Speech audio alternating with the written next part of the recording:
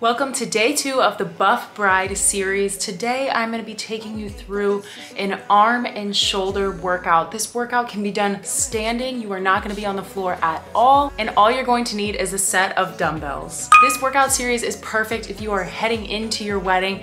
Maybe you got married last month, last year, maybe you got married 10 years ago and you just want to feel as confident and strong as you did in your dress that day this program is perfect for you. Come along with me as we celebrate and honor everything that our bodies do for us and how capable they are.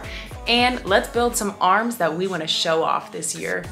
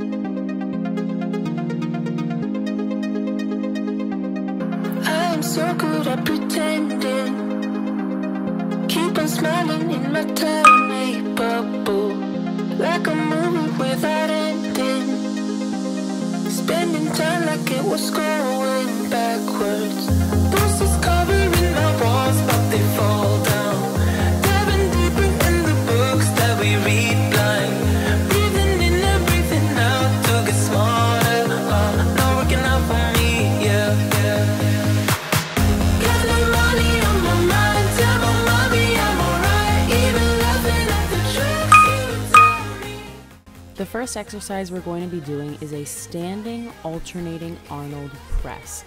You're going to hold a set of dumbbells up right at your face level or about shoulder height, and your palms are going to start by facing your body. From here, you are going to start to press one arm up overhead and rotate your hand outward so that at the top of the movement, your palm is going to be facing away from you. Then, as you return back to that starting position, you're gonna turn your hand back down so that your palm is facing you at the end of this exercise. We're gonna be repeating this on each arm. I want you to think of keeping your core nice and tight and inhale at the bottom and then use that breath to exhale at the very top so that you are using that power and that breath in your core.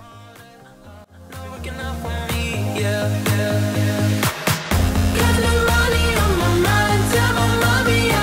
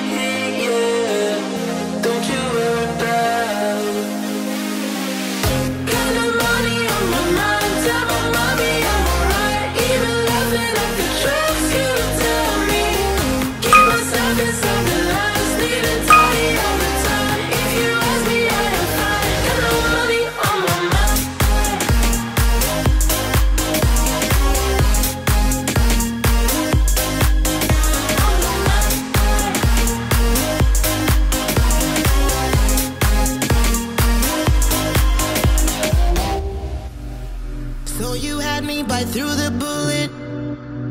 I won't play a second fiddle with you.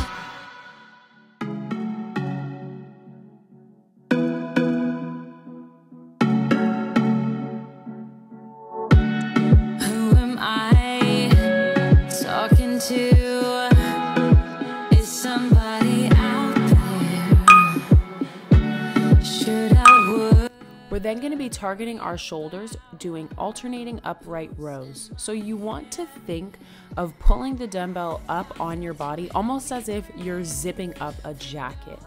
You're going to have your arms very close to your body the entire time, and you're gonna have a bend in your elbow. I don't want you to bring the dumbbell up much higher than below your clavicle, right about your armpit height. The reason for this is the higher you go, the more likely you are to kind of cause some shoulder impingement. So make sure when you're doing this as well, you're keeping your chest upright. Think of pulling your sternum to the ceiling. You want to have great posture. And don't bring the dumbbells up too high. If you feel any clicking or moving in your shoulder, just raise the dumbbells as high as you can without experiencing that.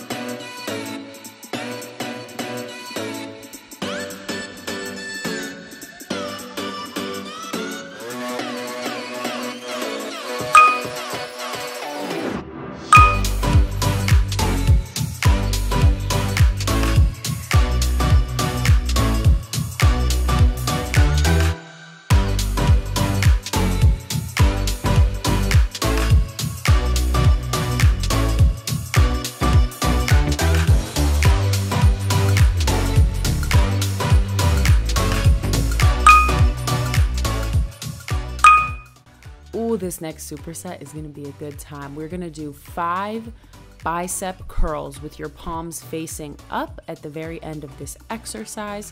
I want you to avoid any swinging in this motion. Then we're gonna go directly into five hammer curls.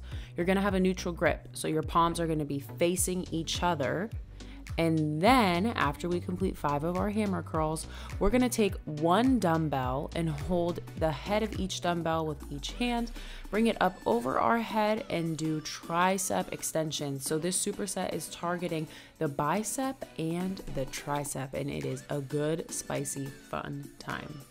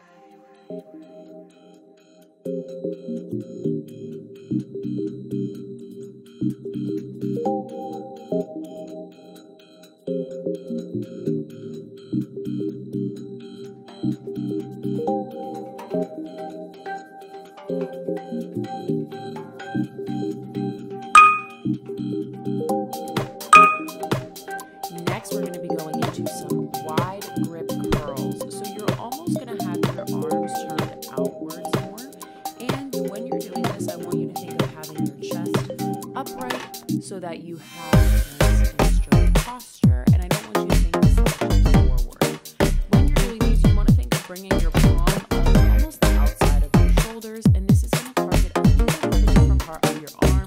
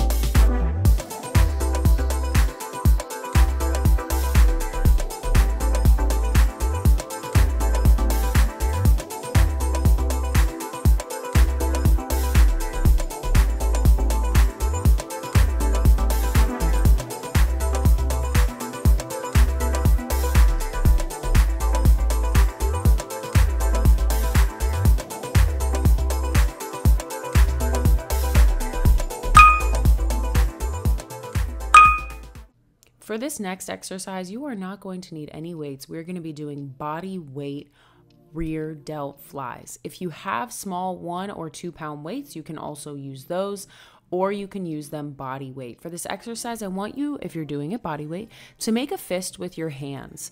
And you're going to want to think of pulling your elbow back, almost as if somebody has attached strings to your elbows and you are just alternating on each side, pulling them back.